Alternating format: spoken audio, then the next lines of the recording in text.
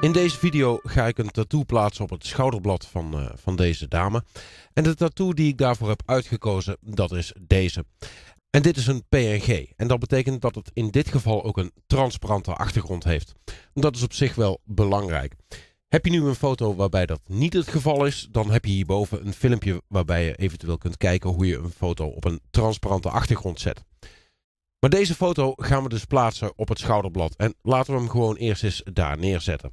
Dat doe ik heel simpel door op de laag te gaan staan, de muis ingedrukt te houden en naar de foto te gaan. Ik kan hem nog niet loslaten, dat doe ik namelijk boven de foto. En dan zie je dat hij erop staat. Nou, ik ga een klein stukje uitzoomen. Je ziet alleen echter dat uh, de tattoo in dit geval veel groter is dan het schouderblad waar die op moet komen. Dus dat moet ik eerst verkleinen. Nou, ook dat is vrij eenvoudig. Zorg dat de juiste laag geselecteerd is. Druk gewoon op de V of klik hierboven. En je krijgt het verplaatsgereedschap. En je kunt simpel gezegd op één van de hoeken gaan staan en dan het plaatje kleiner maken. En je ziet wat er gebeurt. Mijn verhoudingen zijn niet intact. Nou, dat wil ik wel graag. Dus als ik de shift erbij indruk, dan gaat dat gewoon in verhouding. En ik wil hem eigenlijk ook nog gewoon even gedraaid hebben. Dus als ik er met rechts op klik, kan ik kiezen voor horizontaal omdraaien. En dan heb ik hem al een stuk beter. En ik plaats hem even globaal waar ik hem wil hebben. Zoiets als dit. Nou, ik zet hem nog even uit. Het schouderblad hier, dat, heeft, uh, dat, dat steekt natuurlijk een beetje uit. Dat is de anatomie van de mens. En daardoor krijg je ook een spel van schaduw en licht op dit schouderblad. Nou, dat gaan wij dadelijk ook overbrengen op de tattoo. Maar dat gaan we eerst een klein beetje aanpassen met de vorm. En de vorm waarmee ik dat aanpas, dat is het filter uitvloeien. En dat vind je hierboven. Of met Shift, Ctrl en X. En dan krijg je vervolgens dit te zien. Nu heb ik in het uitvloeigereedschap tal van mogelijkheden en ik ga ze zo even met je doornemen. Maar je ziet allereerst dat bij mij ook gewoon de achtergrond zichtbaar is. En dat vind ik op zich wel fijn werken. Dat vind je hier bij achterscherm tonen en dat kun je ook gewoon uitzetten. En als je het aanzet, nou ik heb in dit geval graag de achtergrond. Laag 1 dat is mijn tatoeage en die hoef ik niet echt te zien, want die ga ik vervormen. Ik klik hierboven op vooruit verdraaien. En je kunt hier eventueel bij de eh, penseelopties nog de grootte aanpassen. En dat kan ook met de haakjes toetsen. En ik ga gewoon langzaamaan de tattoo een klein beetje verplaatsen door met de muis te klikken en alles naar binnen te slepen. Of eventueel op de tattoo gaan staan en het een klein beetje naar buiten. En op die manier kan ik gewoon iets meer de contouren aannemen van het schouderblad. Nou, en ik klik gewoon op oké. Ik vind hem zo al een stukje beter. Zoom ik hierop in, dan ziet het er allemaal nog niet zo geweldig uit. De tatoeage zit er opgeplakt, maar hij steekt ook nog een klein stukje voorbij het shirt. Hij is gewoon puur zwart, er zit geen structuur in. En de, de highlights van de schouder en zo, dat komt ook allemaal nog niet terug. Maar dat ga ik fixen. In principe, uh, de laag van de tatoeage, daar ben ik wel mee klaar. Ik wil de tatoeage een klein beetje een kleurzweem laten hebben. En dat ga ik dus doen door er eigenlijk gewoon een nieuwe laag op te zetten. En dan deze tatoeage als masker te gebruiken. En dat doe je heel simpel hieronder bij aanpassingslagen. En ik kies voor volle kleur. Nou, linksonder zou het zwart zijn. Linksboven is het absoluut wit. Maar ga je naar de rechterkant, dan krijg je de kleurtjes. En ik wil in dit geval een klein beetje een groenige tint. Zoiets als dit. Een tatoeage die net gezet is, is misschien wel mooi zwart, maar na verloop van tijd wordt hij een klein beetje groen. En ik wil dus de tatoeage als masker gaan gebruiken. Nou, als ik de Ctrl ingedrukt hou en ik druk op de afbeelding van de laag waar mijn tatoeage op staat, dan zie je dat mijn tatoeage geselecteerd wordt. En dit moet het masker worden van mijn kleurvulling.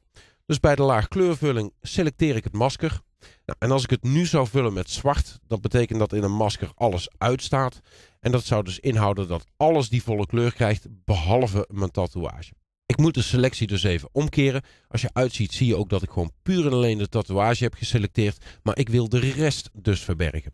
En de selectie omdraaien, dat doe ik met Ctrl Shift en I. En je ziet, er komen aan de buitenkant stippenlijntjes en dat betekent dat ik gewoon alles behalve de tatoeage heb geselecteerd.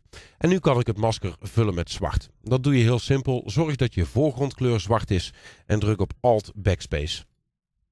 Qua kleur klopt dit al beter dan het zwart wat ik net had. Ik druk op Ctrl D om mijn selectie op te heffen en ik zoom gewoon weer een klein stukje in. Vind je de kleur nou nog niet mooi? Dan kun je gewoon heel simpel onder op de kleur dubbelklikken En dan krijg je dit venster weer terug. En eventueel kun je gewoon een andere kleur selecteren. Een kleur die jou beter bevalt. Je kunt ook bijvoorbeeld zeggen van nou, ik wil het een klein beetje richting een paarsachtige zweem. Laten we het hier even op houden. En ik druk op oké. Nu steekt deze tatoeage nog wel vrij scherp af richting het model. De lijntjes van een tatoeage zullen nooit zo heel scherp zijn. En dat is ook gewoon vrij makkelijk aan te passen in het masker. Hou even de alt ingedrukt en klik gewoon op het masker en je krijgt puur het masker te zien.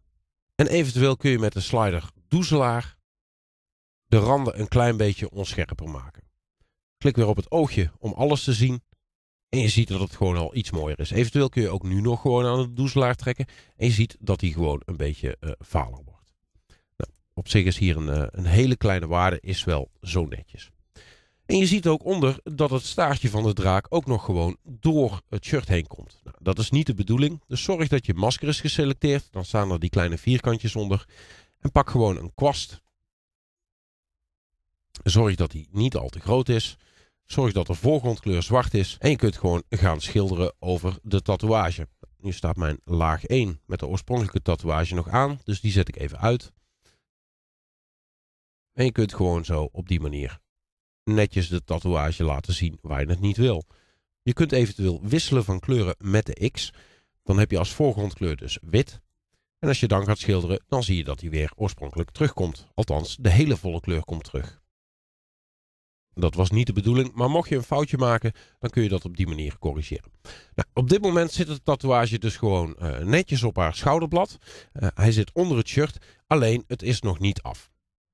Wat mis ik nog? Ik mis nog gewoon structuur van de huid. Je ziet, het is nog gewoon een volle paarse kleur, maar dat kunnen we ook corrigeren. En dat doe je heel simpel. Ik pak de achtergrondlaag en die dupliceer ik met Ctrl-J en die sleep ik naar boven. De tatoeage is nu weg, die ligt onder deze laag, maar we gaan van deze laag gaan we de structuur van de huid gebruiken en uh, die gaan we dadelijk koppelen aan de tatoeage. Hoe doe je dat? Je gaat gewoon allereerst de verzadiging eruit halen. En dat kan met de sneltoets Ctrl, Shift en U of hier bij minder verzadiging. En hij wordt in eerste instantie gewoon zwart-wit. Niks mis mee, geen enkel probleem. Vervolgens ga je naar filter en dan bij overige hoogdoorlaat. En hier gaan we eigenlijk de structuur een beetje uh, zichtbaar maken. En de waarde die je hier moet kiezen, niet te laag, want dan zie je natuurlijk niks. Niet te hoog, want dan wordt het ook niet fraai. Maar ergens daartussenin. En je ziet op een gegeven moment, als je een vrij lage waarde kiest, die je steeds iets gaat verhogen, dat het allemaal iets scherper wordt. En op een gegeven moment komen er een soort van vlekken bij. Nou, die vlekken, dat is een mooi omslagpunt. Daar blijf ik net onder. En dan zit ik eigenlijk gewoon rond de 9. En ik druk op oké. Nu is dit alleen nog niet zo fraai natuurlijk. Dit moeten we nog gewoon uh, in een andere modus zetten. Waarbij we die structuur dus dadelijk op de tatoeage leggen. En die modus, dat is niet normaal, maar dat is lineair licht. En je ziet gewoon in de tatoeage dat die huidstructuur al uh, naar voorschijn komt. Echter, als ik hem uitzet, zie je dat het effect heeft gehad op heel mijn foto. Nu zou ik een heel mooi masker kunnen maken, uh, precies met het formaat van mijn tatoeage. En daarmee het alleen toepassen op de tatoeage. Maar we zijn lui, we kunnen dat ook gewoon in één keer rechtstreeks koppelen. En dat doe je eigenlijk door gewoon de alt ingedrukt te houden en tussen de twee lagen te gaan staan. En je ziet dat de cursor dan verspringt van een handje naar een vierkantje met een pijltje. En als je dat ziet en je klikt, dan koppel ik dus mijn, uh, mijn nieuwe laag met de huidstructuur aan mijn tatoeage. En wat er zichtbaar is van de tatoeage, dat is er opeens ook zichtbaar van de huidstructuur. En daarbuiten heb je er dus geen last van. En dat is prettig. Je ziet nu namelijk in de tatoeage ook gewoon de structuur van de huid. Als ik hem bijvoorbeeld uitzet of weer aan, dan zie je goed het verschil. Nou, ik verlaag nog wel een klein beetje de dekking, omdat ik dit net iets te vind. En ik vind de kleur paars eigenlijk ook iets te. Ik heb je net laten zien hoe we dat terug kunnen draaien. En ik vind dit net iets mooier. Nu heb ik alleen op haar schouderblad ook nog gewoon uh, highlights en uh, uh, schaduwpartijen. En die wil ik ook iets meer benadrukken. En dat doe ik heel makkelijk met de optie overvloeien als. Je gaat gewoon ergens op je laag in een leeg gedeelte staan en je dubbelklikt. En dan krijg je dus het laagstijlen paneel.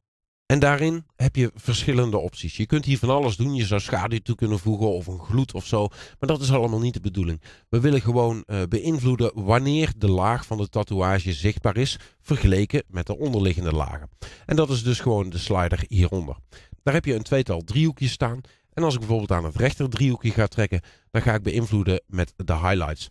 En als ik daar bijvoorbeeld aan trek, dan zie je wat er gebeurt. Ik ga een soort drempelwaarde uh, opstellen.